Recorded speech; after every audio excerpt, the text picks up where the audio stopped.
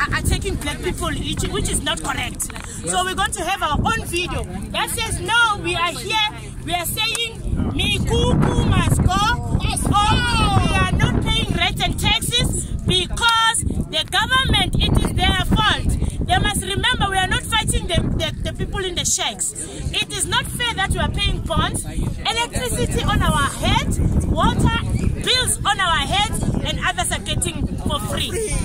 Our government is comfortable, is happy that people are invading, we don't have control over it. Let, let them be fair on, on, us.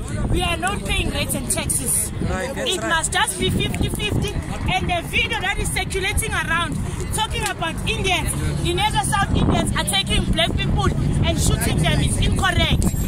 Our media is biased, is provoking the country, is sending wrong messages about us as residents. We also have rights. We are the we are the residents of we are South Africans. We've got rights. So they mustn't just look at people in the spy camp and they must play victims. We are also victims of circumstances. Now the media is playing like this. It is incorrect. There is no people who are no one. We are just and it's not one-sided place.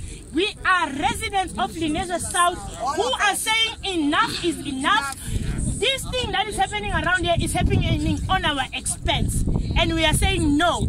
So the people from Narens Farm, they've got media on their side. We've got ourselves. They are carrying some box and canopies and stuff like that. We are carrying nothing.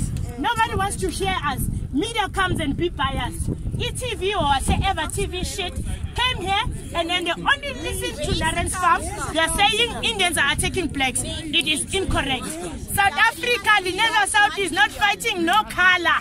Lenasia South is fighting black individuals. Amanda!